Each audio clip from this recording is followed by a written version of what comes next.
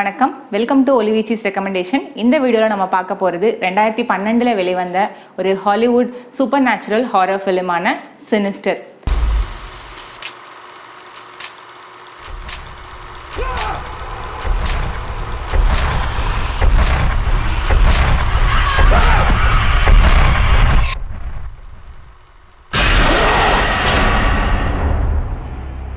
இந்த படத்தை இயக்கியிருக்காரு ஸ்காட் டெரிக்சன். அண்ட் இந்த படத்தோட ஸ்க்ரீன் ப்ளே பண்ணியிருக்காரு Robert Cargill and Scott Derrickson. இந்த படத்தில் நடிச்சிருக்காங்க Ethan Hawke Juliet Rylance Fred Thompson James Ransone மற்றும் பலர். இந்த படத்தோட பிளாட் என்னன்னா எலிசன் ஆஸ்வால்ட் இவர் வந்து ஒரு கிரைம் ரைட்டர் இவர் இவரோட ஒய்ஃப் ட்ரேசி அப்புறம் பன்னெண்டு வயசு பையனான ட்ரெவர் ஏழு வயசு பொண்ணு ஆஷ்லி இவங்க மூணு பேரையும் கூப்பிட்டுட்டு ஒரு புது வீட்டுக்கு குடியேறாரு. அந்த வீட்டில் ஆல்ரெடி ஸ்டீவன்சன் அண்ட் ஃபேமிலி வந்து கொலை செய்யப்பட்டிருப்பாங்க.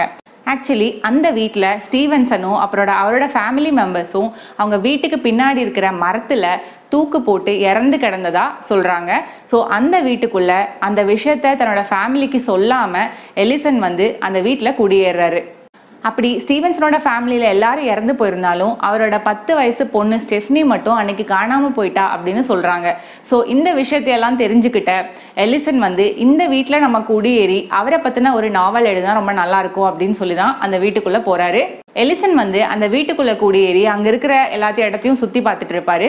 அப்போது அவருக்கு ஒரு ஆன்டிக் பாக்ஸ் கிடைக்கும். அந்த பாக்ஸ் ஓப்பன் பண்ணி பார்க்கும்போது அதுக்குள்ளே ஒரு ப்ரொஜெக்டரும் அப்புறம் நிறையா ஃபிலிம் ரீல்ஸும் இருக்கிறத பார்ப்பாரு. அதெல்லாம் என்னென்னு எடுத்து பார்க்கும்போது அதில் ஹோம் மூவிஸ் அப்படின்னு எழுதியிருக்கும். இதெல்லாம் என்ன அப்படின்னு சொல்லி பார்த்துட்டு இருப்பாரு. அப்படி அவர் ஒன்று ஒன்றா பார்க்கும்போது ஒரு ஒரு ஃபூட்டேஜ்லேயும் ஒரு கொடூரமான மர்டர் வந்து ஸ்டோர் ஆயிருக்கும். அந்த மர்டரை பண்ணது யாரு அப்படிங்கிறத வந்து தெரிஞ்சிருக்காது. முகம் தெரியாத ஒரு நபர். பட் அதை வந்து ஷூட் பண்ணி அந்த ரோலை அங்கே வச்சுருப்பாங்க. ஸோ அது யார்? யார் அந்த மர்டரெல்லாம் பண்ணால் அங்கே நிறைய மர்டர்ஸ் நடந்த மாதிரி அந்த ரோலில் தெரியும். அதெல்லாம் பார்த்து ரொம்பவே கன்ஃபியூஸாகவும் ஷாக்காகவும் ஆவார் எலிசன் இதை தொடர்ந்து எலிசன் இந்த மர்டரெல்லாம் பண்ணது யாரு? இதுக்கு பின்னாடி என்னென்ன விஷயங்கள் இருக்கு அப்படிங்கிறத கண்டுபிடிப்பாரு. இந்த படம் வந்து ஒரு அவுட் அண்ட் அவுட் பேய் படம் தான். இந்த படம் ஸ்டார்டிங்ல இருந்து எண்டிங் வரைக்கும் ரொம்பவே நம்மளை பயமுறுத்தும். எஸ்பெஷலி இந்த படத்தோட கிளைமேக்ஸ் வந்து ரொம்பவே பயமுறுத்துற மாதிரி இருக்கும். இந்த படத்தோட பார்ட் டூ கூட வந்துச்சு பட் அதை விட இந்த படம் தான் ரொம்ப பெஸ்ட்டாக இருக்குன்னு சொல்லலாம்.